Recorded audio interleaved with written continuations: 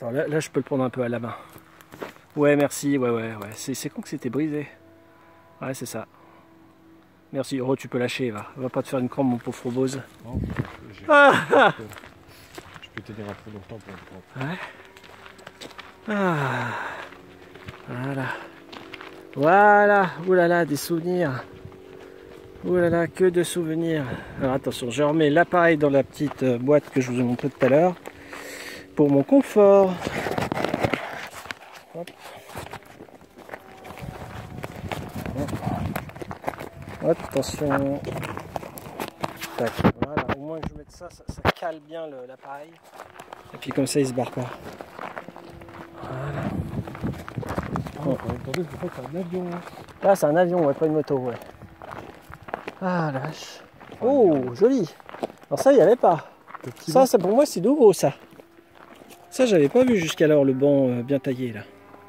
Stylé. Ouais. Je m'en souvenais pas de celui-là. Ah, je vais peut-être découvrir des nouveautés. Ils ont peut-être fait des trucs durant la crise sanitaire, justement. Ou entre les confinements, je sais pas. Waouh.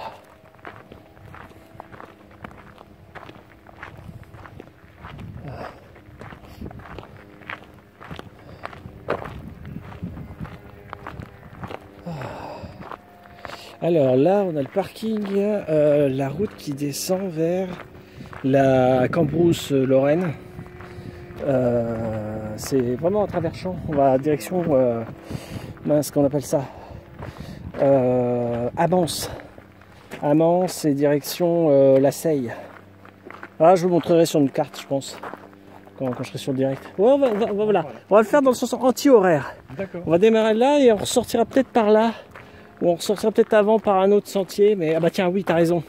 J'avais complètement zappé, autant présenter le, le plan tel qu'il s'offre à nous.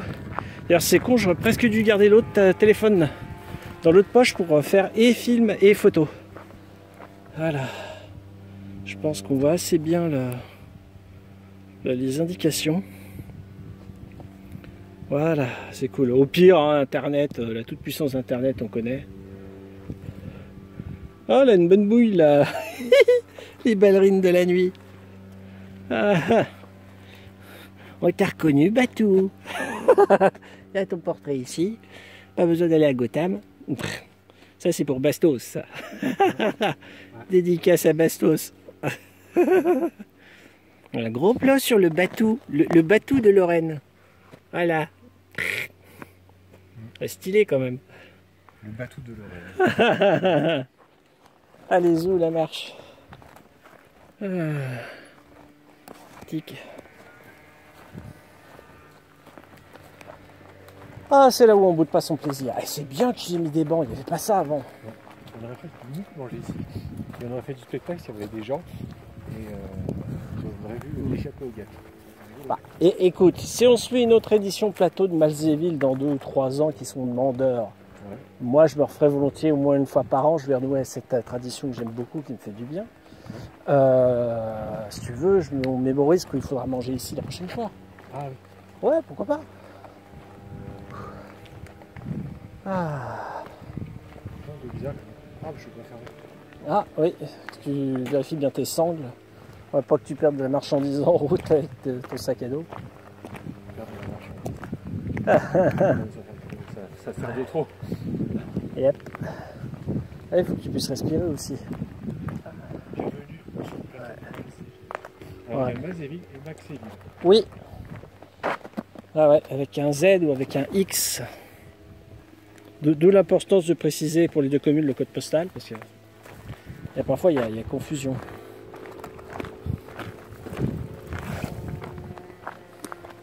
Ah ah, ah, tu passes dans le champ de la caméra. Je resplendis dans le champ de la caméra. Ouais, on va te voir randonner. Miguel arrive et là on voit une excitation on parti dans tous les sens pour échapper à la guette. Eh oui, bah oui. Oh là là. Alors, là on est dans un secteur où une année, j'ai vu un, je sais plus comment on les appelle, les chats qui redeviennent sauvages. Et voilà, ils vivaient sur le plateau. Je l'avais croisé le, le chat qui, qui, évidemment avait le pelage en panache quoi, pas pas pas brossé. Elle était revenue à l'état sauvage. Et, euh, j'étais content d'avoir fait la, la rencontre du félin. Ça m'avait surpris, mais bon, pas plus mal qu'il soit là.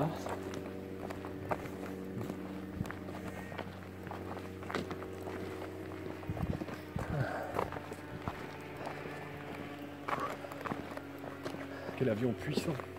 Ouais, ouais, ouais. Mais c'est un avion, avion, vrai avion ou c'est un avion euh, Bah, modélisme? télécommandé. hein. Ah oui, c'est du modélisme. Parce que ouais, je trouvais la, la fréquence du, du bruit du moteur bizarre. Ouais. Ça fait presque comme un moustique. Quelle puissance du moustique. Puissance du chardon lorrain qui s'y Ah frotte oui. ses pics. Il est beau celui-là. Bout du dieu. Beau spécimen. Attends, je sais même pas si je cadre bien parce que Surtout, je... des fois c'est doux, mais d'autres fois c'est, ça pique. Là ça pique. Ah oui, là, là, je me suis piqué. Là c'est tout doux. Le vert pique. Ah. Alors que le blanc est doux. ouais. C'est le vert qui pique. une, une graine, une guerre, qu'est-ce que je raconte J'en prends une graine. Oui, ça fait comme les pissenlits. J'en prends une graine. Mm. La- Ça fait comme le pissenlit.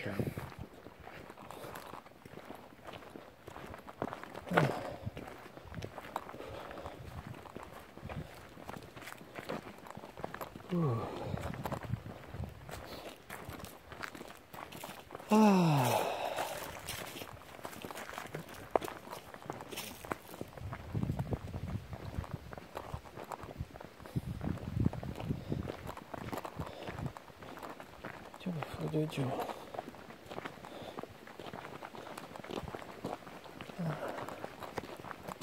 On voit qu'il y a des parcelles, euh, petites parcelles habitées là, avec un verger privé sur la droite que je ne filmerai pas puisque propriété privée. ah oui, là on commence à voir la partie aérodrome, aérodrome du plateau. Avec une herbe jaune. Eh ouais, sécheresse là, ça, ça fait peur. hein. Franchement là, on se croirait dans la savane africaine presque. Ouais, ouais, c'est. non, mais ça- Où sont les girafes et les lions là? Franchement, ça fait l'effet là quoi. On va faire un-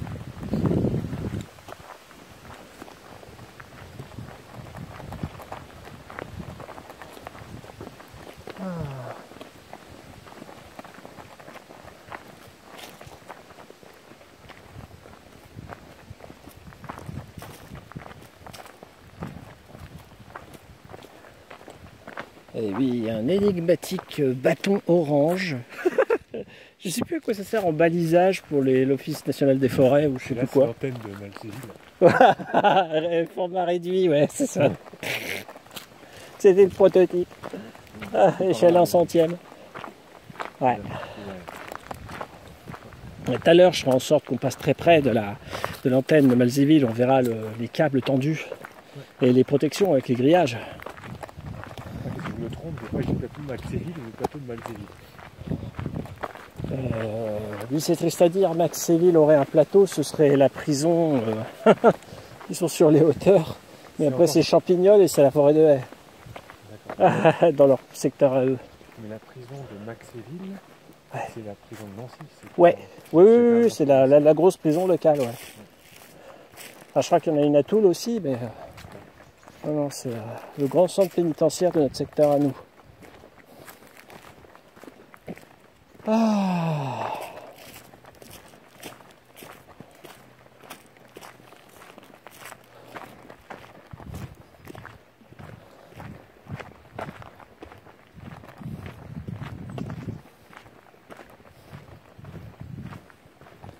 Ah. Oups. La- le truc caméra. Non mais j'ai eu un mouvement de la main. j'ai- Là ça fait gerbotron au, au film. Alors ce que j'aime moins, c'est que parfois il y a des foufous en VTT qui passent à fond dans les petits chemins. Et le pire c'est ceux qui ont des engins motorisés.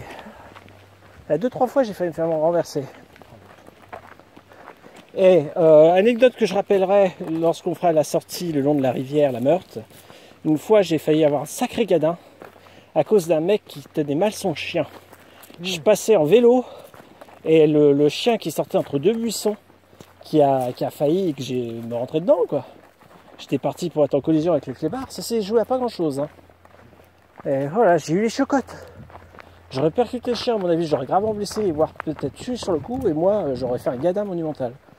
Parce que j'ai pas un petit vélo, j'ai un vélo cargo. Qu'est-ce que c'est un vélo cargo? Un vélo cargo, c'est un vélo comme les postiers. Deux Ah oui. sacoches de chaque côté à l'arrière, et tu peux mettre encore un truc par-dessus. D'accord. C'est pratique ça. Ah, très, j'adore. Est-ce que tu avais une remorque avec? Non, mais et encore, je crois que c'est pas réglementaire d'avoir la remorque sur mon modèle, mais ça pourrait se bricoler, mais ce serait pas, ce serait pas conventionnel et pas légal, je crois. Mais ça pourrait s'envisager. J'en vois jamais sur Nancy des gens à vélo avec une remorque. Le mec, il est en vélo, il tire sa caravane. T'imagines le cliché? Oh mon dieu. J'ai un ancien collègue de boulot, il m'avait raconté dans les années euh, 70-80. Il avait une fois, il avait descendu la rue Saint-Jean. Alors je rappelle que la rue Saint-Jean, c'est l'artère principale de Nancy, la, rue commerçante ou commerciale. Et euh, elle est un peu en pente sur une extrémité. Et j'ai un ancien collègue de boulot qui l'avait descendu un matin d'hiver à ski. Qui voit en plein centre de Nancy des, faire une descente en ski. Ouais, il l'a fait. Il, a- il sera avec nous, il pourrait nous raconter dans le détail, mais il l'a fait.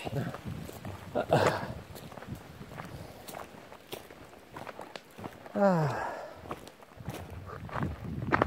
La, la rue, Saint-Jean, la, la- la rue Saint-Jean est quand même assez plate. Donc il y a des Ouais, mais là, quand tu t'élances depuis la place de la République, alors quand, on dit ça, si vous êtes intéressé, peut-être que je vous montrerai avec Google Street View en direct, on verra. Ça vous donnera une idée de, de nos propos entre Nancéens. on voit qu'on illustre notre propos. Si tu prends le, en amont la rue euh, Saint-Jean au niveau de la place de la République, ça fait quand même un bon petit toboggan, quoi. Et si une fois que tu es lancé, euh, tu arrives à te laisser glisser jusqu'en bas vers, euh, vers bah, le canal de la Marnora, en fait. Si, si, tu peux largement te laisser glisser jusqu'à tout en bas.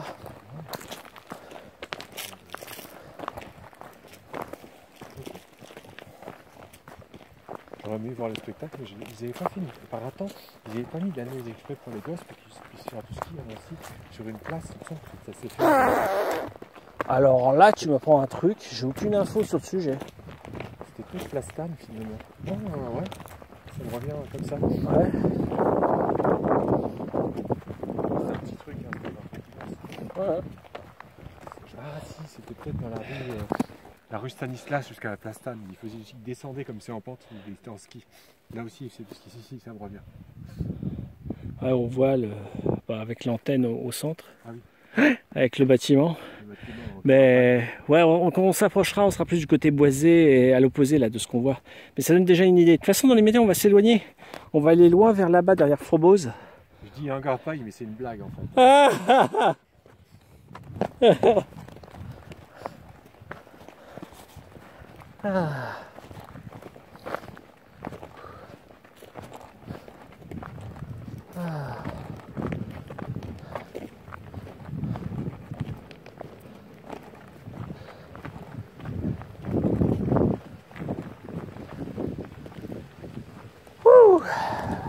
C'est là où on se dit faut avoir des bonnes chaussures parce que quand on voit le, chemin bien caillouteux, Hop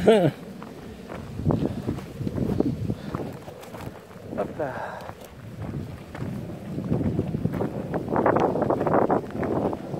Ah, je vais filmer les gars avec le- l'aéronef sur ta gauche. voilà. Activité aéronautique sur le plateau. Ah bah on en voit un qui s'approche, eh, qui, qui est tiré, qui est tracté de planeur.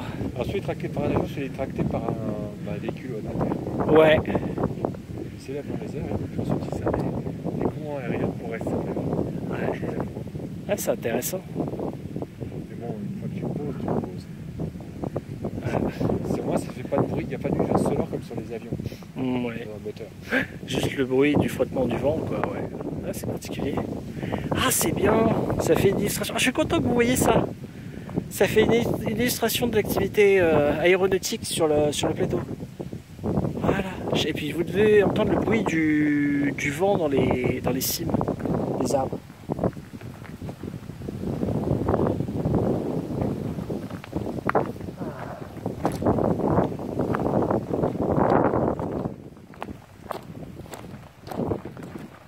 Ah.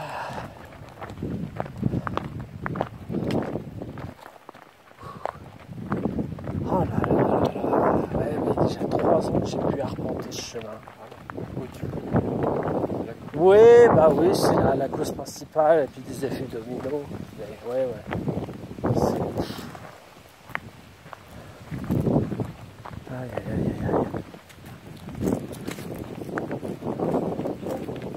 Ok, ouais, ici. Ah, alors, tu parles de papillons, mais moi je rebondis sur une petite anecdote culturelle. En ce moment, il y a euh, au musée des Beaux-Arts de Nancy, que j'ai eu le plaisir de faire en famille là, tout récemment, il y a une œuvre qui nous a intrigués en famille, euh, une dénommée Mad Mag, donc euh, Magali Foll, je traduis ça comme ça, le pseudo de l'artiste. Une œuvre magnifique, en fait, c'est une parodie des noces de Cana, c'est-à-dire euh, Jésus à sa table avec, euh, entouré de ses apôtres. Euh, L'œuvre de l'artiste dénonçait en fait le, côté euh, cannibalisme, mais euh, d'un point de vue symbolique, entre les hommes avec le capitalisme, le fait que les hommes se bouffent entre eux pour le pognon, de, manière très, très vulgaire. Euh, et en fait, les, les, apôtres étaient en fait transformés en, en hommes euh, costard-cravate, tu sais, des hommes d'affaires, et tous avec une tête d'insecte différente. Un qui avait la tête d'un bousier, l'autre la tête euh, d'un, parfois même d'un, d'un homard, je crois, ou une crevette. C'est, en tout à langue de Chine, noir, magnifique. Mais une énorme surface, hein, ça, fait tout un pan de mur, euh, quasiment un panneau publicitaire. Et c'est ma nièce qui m'a fait remarquer. Elle s'est penchée sur l'œuvre, euh, Noce de Cadas, donc c'est 12 individus autour d'une table, autour d'un buffet. Et ben la nappe, à langue de Chine, la nappe qui fait sans déconner, de, dessinée sur 4 mètres de long, la nappe était essentiellement composée de texte. Tu pouvais lire un texte de l'artiste. Si tu t'approchais pas, tu voyais pas et tu croyais que c'était une nappe euh, ouais, striée, machin. Ouais, ouais, ouais. Ouais, complètement. D'accord. Et ma nièce aurait pas fait la remarque, elle aurait pas mis son nez dessus, j'aurais moi-même je me serais fait avoir, j'aurais pas vu le- la subtilité de l'œuvre. Un inconscient t'aurait frappé. Non mais extra, franchement. Et d'ailleurs, je, je mènerai un peu l'enquête sur l'artiste parce que même ma frangine a été très séduite par, euh, par cette œuvre et moi aussi ça m'a marqué. Euh, fortiche, franchement. Et là actuellement, pour ceux qui sont intéressés, musée des Beaux-Arts de, de Nancy, que je vous montrerai tout à l'heure euh, plus en détail si vous voulez, euh, qui est Place Stanislas tout simplement, qui sera nos points d'arrivée et fin de la journée tout à l'heure. Euh, donc en ce moment, il y a jusqu'en mi-septembre, pour l'agenda culturel, il y a une expo temporaire sur les arts du verre. C'était en partie pour ça que je m'étais déplacé en famille pour aller voir ça. Et superbe, avec une guide touriste, enfin une guide touristique, une guide de musée qui donne des explications.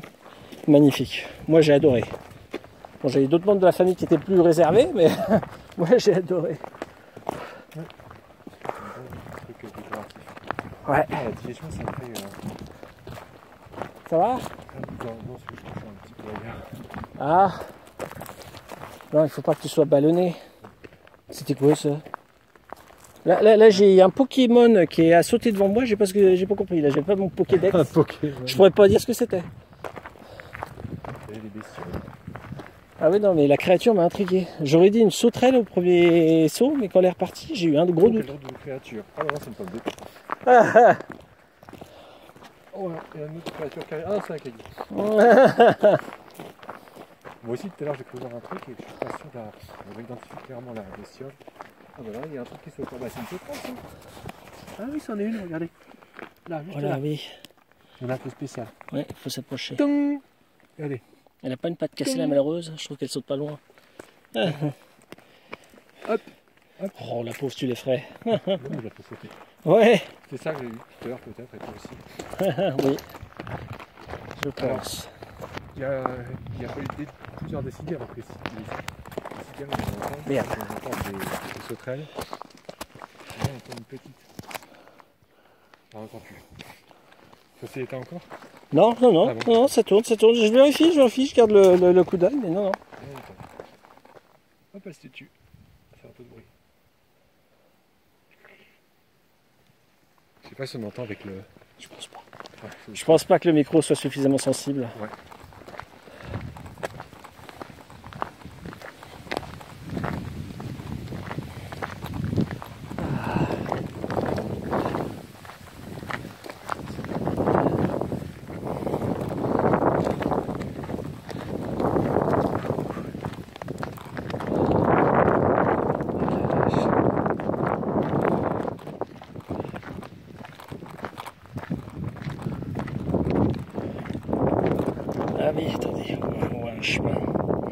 c'est intéressant quand même. Ouais, on repère le tas de pierre. Attendez, je vais faire un petit 360 quand même. Qu'on se pose un peu. Parce qu'on crapahute, on crapahute, mais on voit Nancy au loin, enfin les collines euh, Lorraine. Là on voit la, tour de Ludre au loin. Avec une tour HLM, je sais plus laquelle. L'antenne plus au premier plan de Melzéville. Oh Et dire, que le paysage de fond, là, euh, avec l'herbe dorée, on va aller là-bas. Ah, c'est magique. J'adore cette promenade. J'adore, j'adore. Et sérieusement, et je pense que toi aussi, tu serais éventuellement de la partie, mais de nos spectateurs, surtout nos plus fidèles amis qui nous suivent, s'il y en a qui passent par Nancy et qui seraient intéressés en vrai de faire de la promenade, j'accompagne volontiers. Hein. Ah oui. Ah ouais. Je suis partout aussi. Parce que je sais que Fan il aime bien les promenades là. D'ailleurs, j'espère qu'un jour, euh, j'aurai le plaisir de me promener dans ces chemins de villégiature en Provence. Je suis preneur. Petit papillon, oui, le petit, le petit papillon. Oui, bien vu. Ouais, c'est sympa. Ah, j'adore, c'est ma promenade numéro un, celle-là, le plateau. Ça entretient. Puis là, tu vois, on a l'air, c'est vivifiant. Là, on respire, là. Là, il n'y a plus de canicule. Là, c'est un été normal pour moi. Là, je me sens vivant, là. Là, ça fait un bien fou.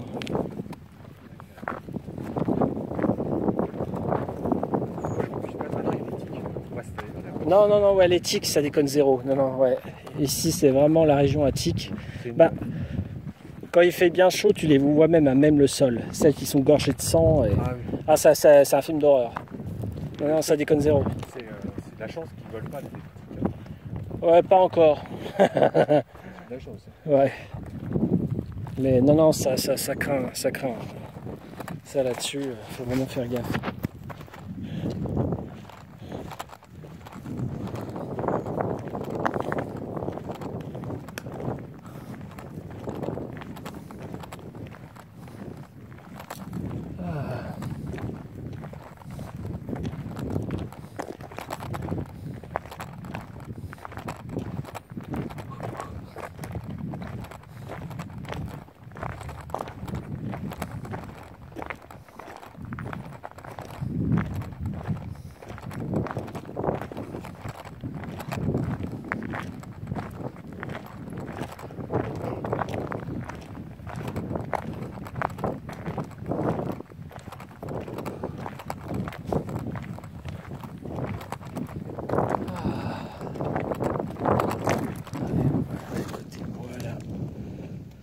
Je crois que c'est la plus longue séquence depuis qu'il n'a pas coupé là.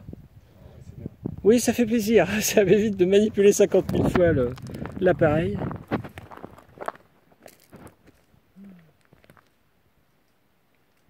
J'ai entendu un craquement. Non, non, là-bas, côté forêt, il y a un truc qui a craqué. Comme si un oiseau faisait tomber une branche ou un animal, euh, un buisson. D'ailleurs, il y a qui savent sûrement déjà c'est que les oiseaux, notamment les corbeaux, vous regardez un arbre, d'un seul coup, il y a un marron qui tombe par terre. Quelques secondes après, vous voyez un corbeau qui récupère le marron. Il s'est servi de la dureté du sol pour casser le marron, pour pouvoir manger ce qu'il y a à l'intérieur. Euh, oui, je compléterai ton propos pour avoir vu la scène près du parc de la Pépinière. Euh, c'était un matin où j'allais bosser. Donc à la fraîche, il devait être 16h, 7h30 du mat'. Et euh, en fait, le corbeau très malin avait compris que les voitures pouvaient aider à ouvrir les coques. Donc il se posait sur le, lampadaire, il lâchait son, fruit à coque sur le, bitume, il attendait qu'une bagnole passe, Et une fois qu'il n'y avait plus de bagnole derrière, bah, il récupérait son dû. Pas con, les, ah, là, les corbeaux, c'est des animaux Ah, très intelligents. Les animaux, c'est ouais, ouais. Ah, dit le planeur. Ah, le planeur. Pardon. Je, je filme de manière un peu brute, mais heureusement que Frobos me l'a signalé. Zéro bruit. Quasiment zéro bruit. Ah, il y a le bruit du vent, mais bon. Il frotte moins bien. Pardon. Voilà, hop, il est parti pour 3 heures de plaisir. Ouais. Ah, Hop, le là, grappin. Ouais, le grappin avec son petit parachute. Oh, ce largage. Youp. Ouais, euh, le grappin qui touche le sol, boum. Et le planeur qui fait une, euh, dire une manœuvre d'évitement. non, qui fait un demi-tour là. Ah, je pense qu'il cherche le sens du vent.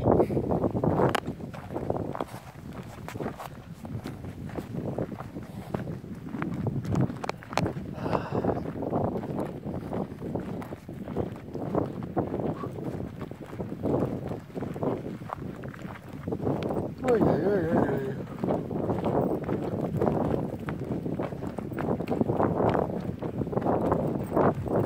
Alors je vais te faire un aveu. Pas très loin d'ici, mais c'était plus à l'extrémité du chemin. Il y a une année, il y a des loustiques en bande qui étaient Ah. passés en motocross. Et euh, j'avais pas fait le lien tout de suite, mais j'étais passé donc euh, derrière eux. Et euh, je vois quelque chose qui brille au bord du chemin. Je dit, tiens, qu'est-ce que c'est que ça? Et en fait, c'était une montre que j'ai ramassée et que j'ai gardée. Et je pense que c'était un des motards qui avait Ah. dû la perdre, parce qu'à un moment j'ai vu le groupe faire deux demi-tours et ils étaient tous comme des idiots à regarder au sol. Et qu'as-tu fait? Je vais passer mon chemin, euh, je voulais pas encourager les pollueurs, euh, déjà qui m'avaient bien agacé avec le vacarme qu'ils faisaient, et je t'avouerai que j'ai gardé la montre. Ah j'avoue, Oh, c'est excellent je leur ai pas restitué, rien à foutre, ils avaient rien à faire avec leur motocross à polluer l'endroit. Ça aurait été des gars en VTT, j'aurais été honnête. Mais là, les, les gros pollueurs qui prennent euh, la- le plateau pour eux, euh, Oh, doigt d'honneur là. ça, je proteste. Non, non, moi j'ai passé mon chemin tranquille. Bien fait pour leur tronche. Je t'avouerai que j'ai aucune idée si la montre a de la valeur ou pas. D'ailleurs, je sais même pas ce que j'en ai foutu. Le sage vaticateur. Ah oui, non, là, là, j'ai fait mon vilain parce que eux avaient fait, euh, franchement. euh, alors bah, oui, le plateau continue un peu en fait. Quand tu es ici, là-bas, le côté, euh, c'est plus euh, côté des Saint-Christophe, en contrebas en aval. Encore que, attends, je te dis peut-être des, bêtises, pardon, pour parler poliment. Oui, non, les Saint-Christophe seraient là-bas. Là-bas, il y a un patelin qui s'appelle Eulmont. Et là, on a plus la direction vers la bâtisse qu'on voit un peu au loin. Mince, j'ai un trou de mémoire. Après les Saint-Christophe, il y a euh, Bouxières aux Dames. Voilà, cherchez le nom. Ah, ouais, on voit plus la petite antenne qui se détache la grosse là, dans ce secteur. Pardon, je mets la main devant l'objectif parce que je voulais vérifier comme quoi il n'y avait pas le mon petit carton qui tient l'appareil dans la sacoche euh, ne passe pas devant l'objectif. Je voulais absolument vérifier comme quoi vous voyez bien. Oh c'est cool. Là je sais pas pourquoi. C'est peut-être parce qu'il fait plus frais qu'il y a du vent. Il surchauffe pas et il Ah se coupe oui. pas. Ah oui, c'était la surchauffe. Je pense que c'est la chauffe où il coupait l'appareil. Là, on est en, en altitude avec du frais, avec du vent continu. Là, il continue de filmer. Il se met pas en arrêt de sécurité. Ah, ça.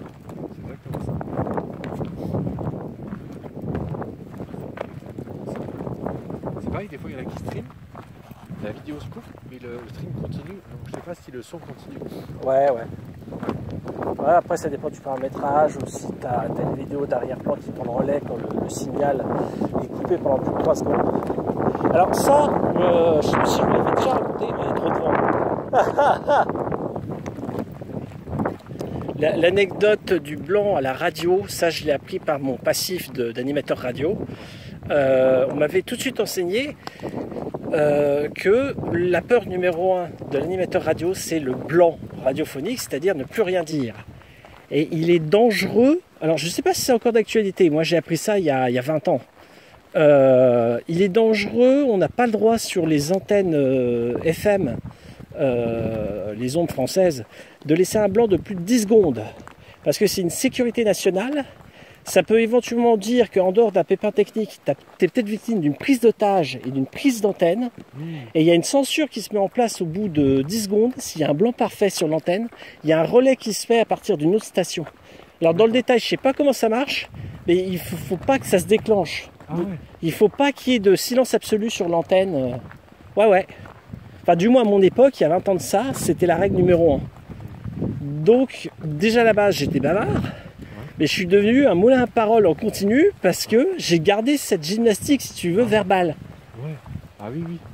Ouais. Mais c'est bien le, le commentateur dans les vidéos. Ouais, Parce que moi je parle pas beaucoup, je, je suis pas très parleur en fait. ouais. Je voir que toi. Ah, ça dépend du tempérament. Voilà. Mais en plus, j'ai envie de dire de ce truc de caractère me concernant, j'ai le, ça a été, euh, j'ai envie de dire, ça se transforme en déformation professionnelle quelque part, tu vois. Ah oui. Parce que je garde cette gymnastique de la peur du blanc, de toujours combler le vide et de captiver le, le public, le- l'auditoire. Ouais. Et là, je, je vois un peu le retour de, de ce que je filme. Je vois déjà scène qui va me hurler quand il va voir le résultat de ma vidéo. Achète un stabilisateur. Oui, je sais, il y a le mouvement du pas et tout. Je sais, ça tremble à mort. Et le bruit du vent dans le micro. Oui, on sent encore. C'est pas une grosse gêne, mais Ah, je sais qu'il est très pointilleux plus sur le son. Ouais, bon, ça fait, je trouve que ça fait immersif. Mais non, non, j'achète pas un stabilisateur à 150 balles euh, avec la perche. Je ferais ça encore toutes les semaines. J'investirais dans le matos. Moi, J'ai marché sur le verre additif, moi j'ai pas envie d'en Ah oui, oui, tu les as vus au sol, ouais. Ouais, c'est dans le secteur là qu'il y a les tirs au sol. Non, ça déconne zéro, faire gaffe.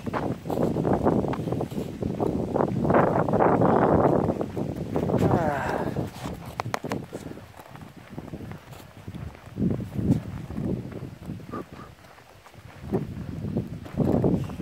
La terre est plus brune et sable ici. Ouais. Mange de calcaire et d'argile. Aussi. On voit qu'il y a de tout. hein. Il y a des traces d'animaux, il y a des traces de véhicules, il y a des traces de chaussures. Tu arrives à lire au sol euh, tout ce qu'il y a.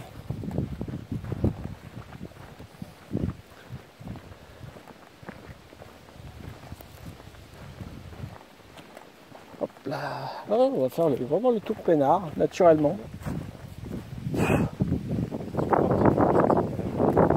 Pas de pluie annoncée. T'auras pas une goutte. Encore hier soir, ils annonçaient, euh, déjà 24 heures avant, ils annonçaient des orages, transformés en pluie modérée, et 3 gouttes. En vrai, il y a eu 3 gouttes. Donc euh, non, la pluie, j'y crois pas du tout. Ce qui est extrêmement inquiétant. J'ai pas vu la taille de la mer. Loin, c'était pas, séché. Ah, de haut, tu peux difficilement avoir des repères, faut vraiment être sur les rives. Mais il y a un site, si tu veux, je te redonnerai l'adresse, il y a un site